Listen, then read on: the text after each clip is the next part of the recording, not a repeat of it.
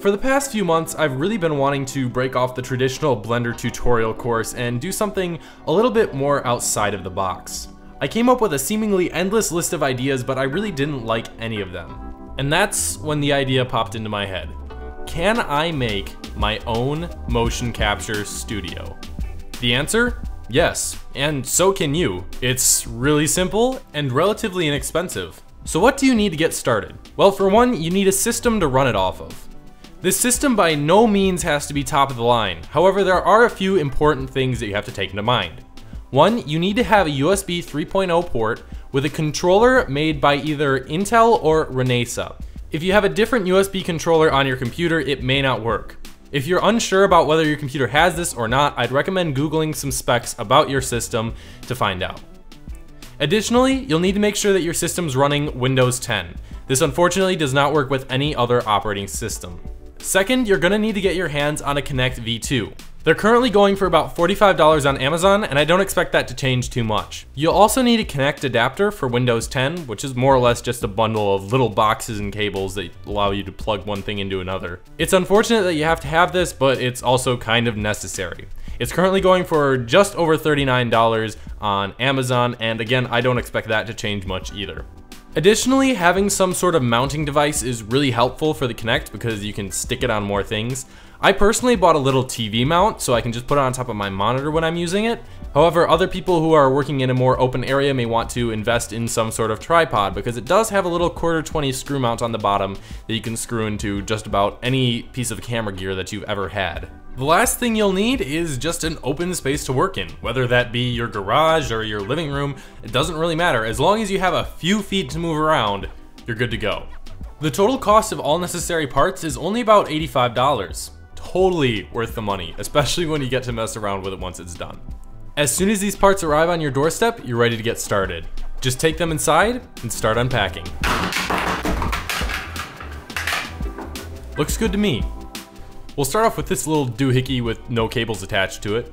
It's great because it has a bunch of little symbols telling you where to plug things in. For example, Kinect over here, DC power down here, and USB up here. With this block as our centerpiece, we can go ahead and grab our Kinect and start plugging things in. Mine's all wound up, so I'll unwind it real quick. And once it's done, we can go ahead and set it down and plug in the cable connecting to that into the Kinect side of the block. So we'll plug that in and set it back down. Additionally, if you have any sort of mounting bracket, I'd recommend putting that on now. They usually snap on pretty easily. Next up is our, oh, oh, hello. Well, nice of you to stop by, Mr. Cat, get out of here. Next up is our power supply box, which is the one with the cable with the power connector on the end. We can plug this into our main block and then put it off to the side.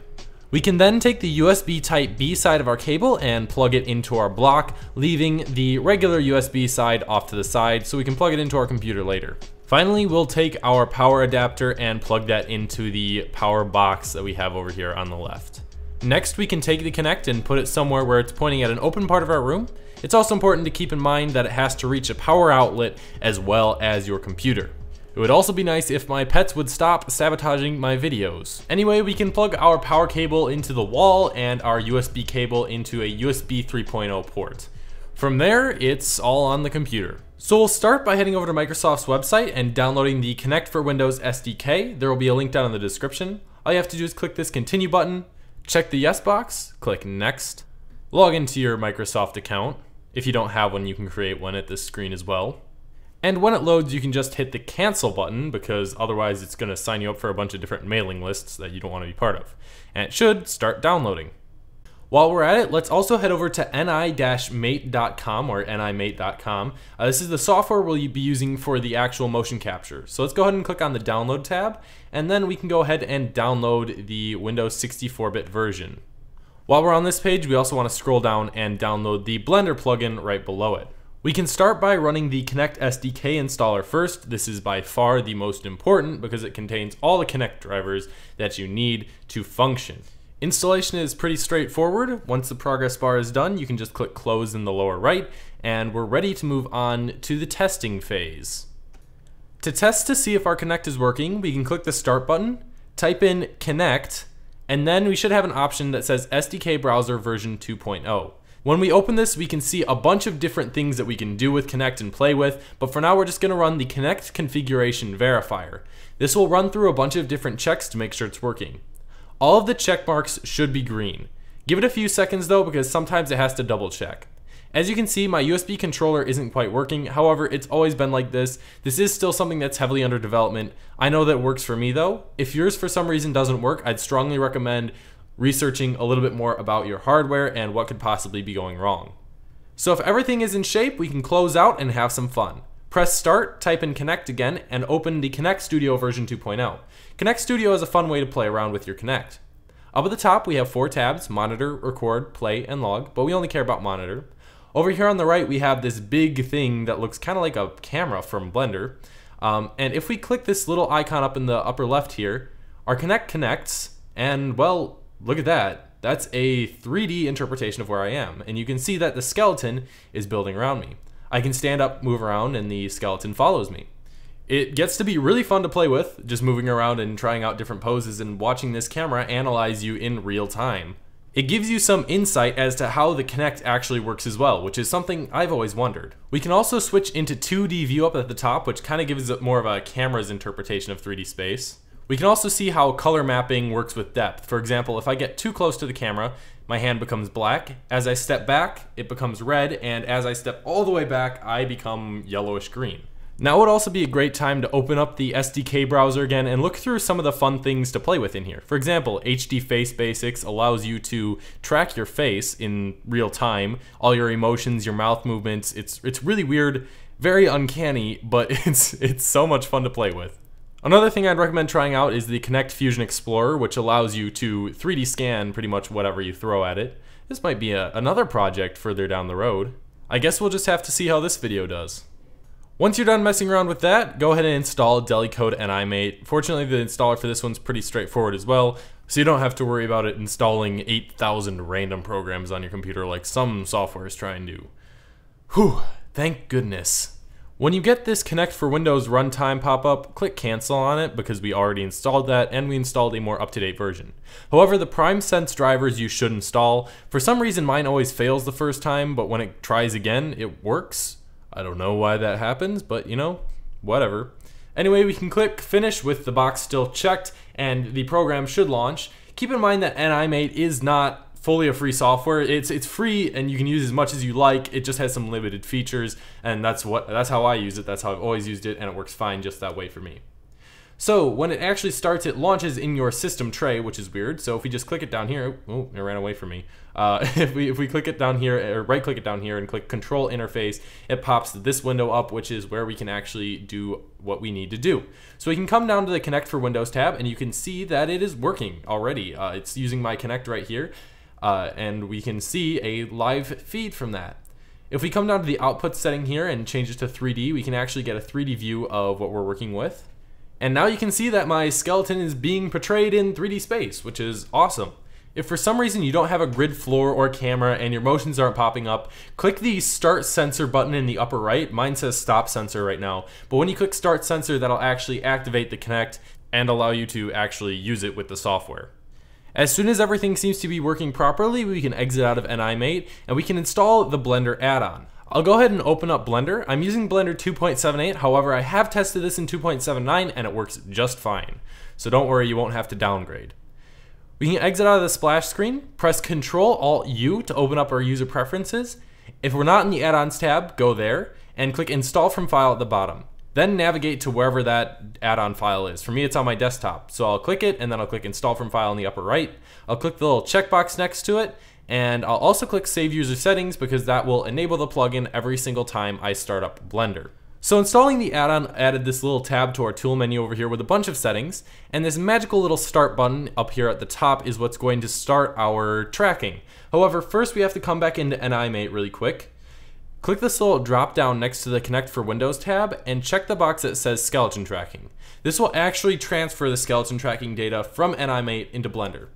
So now let's go ahead and delete everything in our main scene just to eliminate any confusion we might have.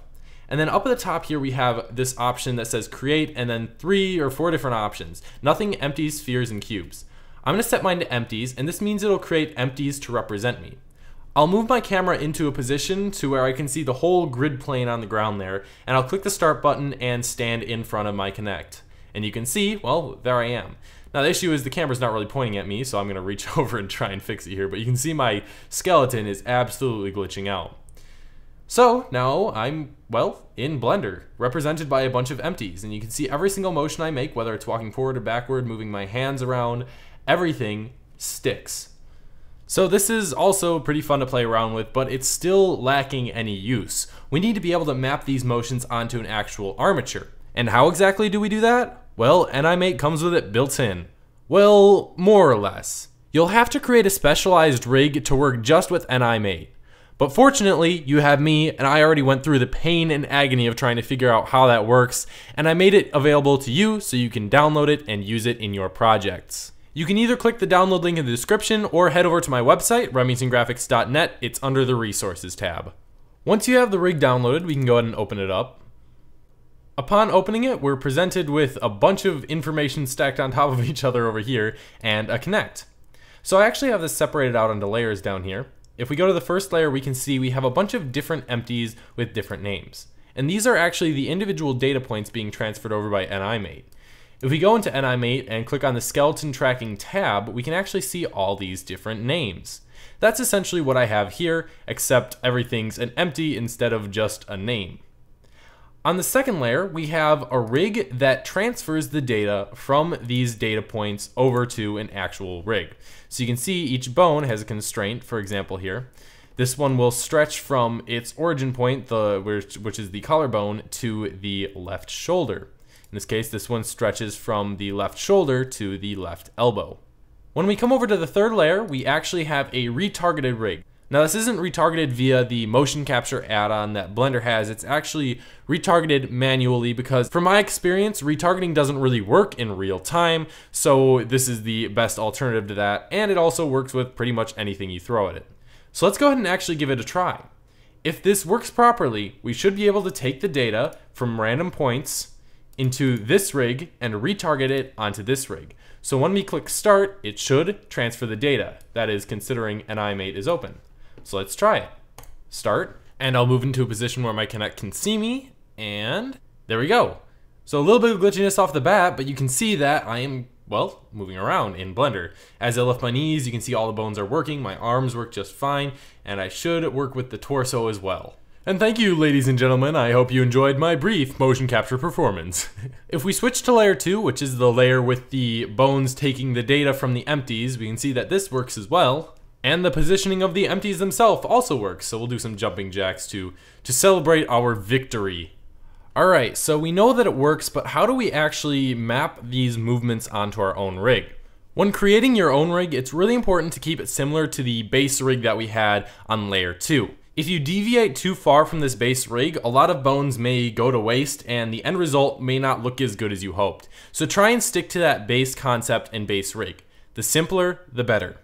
I always find it useful to move on to a new layer to work on your new rig. For my custom rig, I'm actually just going to use a human meta rig from the Rigify add-on. If you guys want to follow along step by step, you can enable this add-on too in Blender's user preferences. In the case of this rig, there are actually quite a few bones that we don't need. We don't need any of the fingers or parts of the feet, so we can actually go ahead and delete those. Just be careful not to delete any bones that you shouldn't. For example, the hand bone in the middle of all the fingers is essential for our rig to work. And there we go, we've removed all the unnecessary bones and saved just to make sure we don't lose our progress. Before moving on, we also need to check and make sure there are no unnecessary breaks in our model. For example, with this armature, there is a break between the shoulder and the upper arm bone. The fix for this is relatively simple. Just click on the little bone icon up on top here, and under the Relations tab, check the connected box, and the bone will automatically connect itself. I'll do this for both. While recording this, I unfortunately didn't notice there's also another break in this rig between the shoulders and the neck. I ended up leaving it unconnected, however, luckily the break in the bones didn't really affect the final result that much. However, if you do have breaks, I'd strongly recommend fixing them. Lower body breaks, such as the legs in this rig, don't really matter as much because they're a separate entity. One other thing I like to do before moving on is to enable the names for each individual bone so we can see them on this rig. I'll also hold shift and select the layer that our other rig, our copying rig or our base rig is on. And I'll also do the names for this as well so we can copy them easier without having to switch back and forth between the rigs.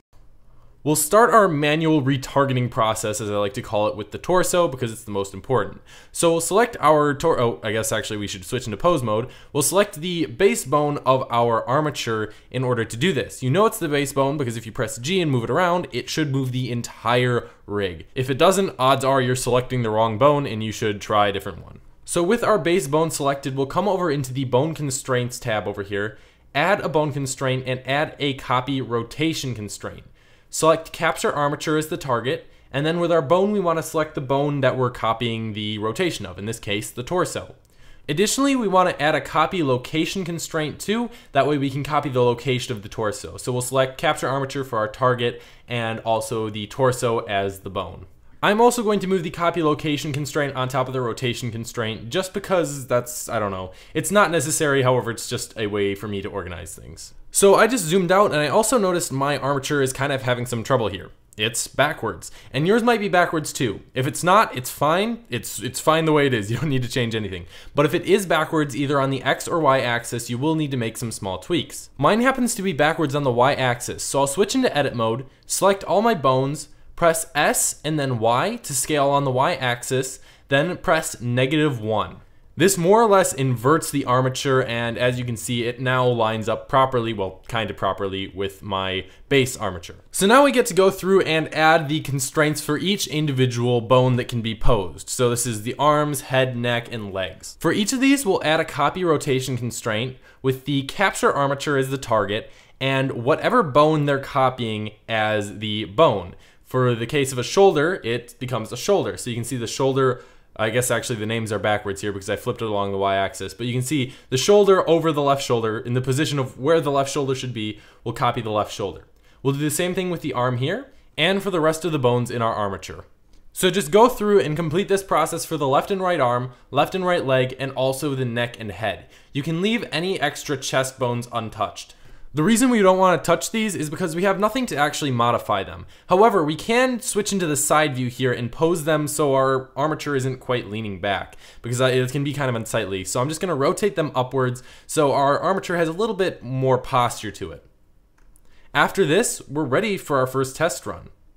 I'll click start to start transferring the data from our Kinect to Blender and when I move into the Kinect zone, you can see it works. Our custom rig is now working perfectly.